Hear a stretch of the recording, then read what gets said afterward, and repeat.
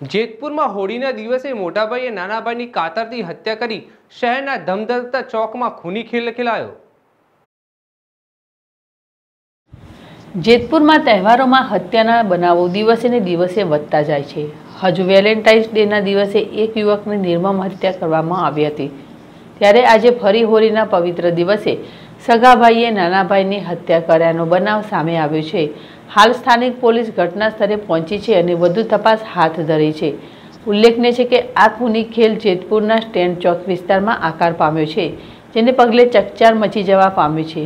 બનાવની પ્રાપ્ત વિગતો અનુસાર શહેરના હાદસમાં સ્ટેન્ડ ચોક વિસ્તારમાં વર્ષોથી ફૂલોનો વ્યવસાય કરતા કાસમભાઈ શેખના પુત્રો સિકંદર અને હારૂન વચ્ચે ઘણા સમયથી સામાન્ય માથાકૂટ થતી રહેતી આ માથાકૂટના કારણે તેમના પિતાએ નાના પુત્રને થોડો સમય બહાર ગામ પણ મોકલી દીધો હતો.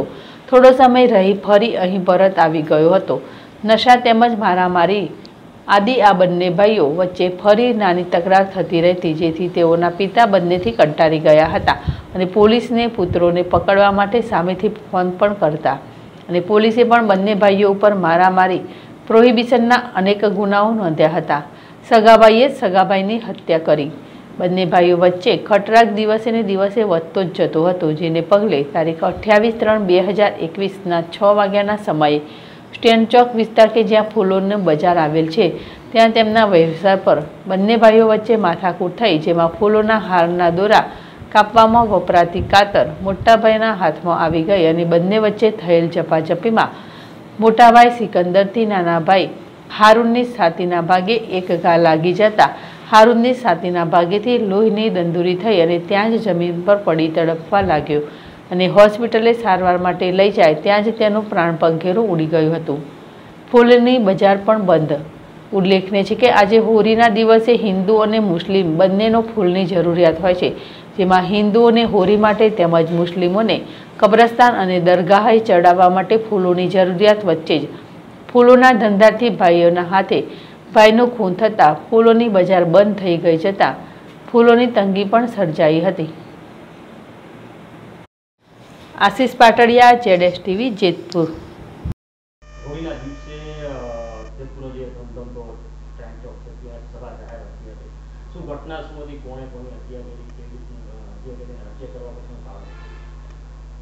બે દિવસ પહેલાં જેતપુરના સ્ટેન્ડ ચોકમાં એક હત્યાનો બનાવ બનેલ હતો.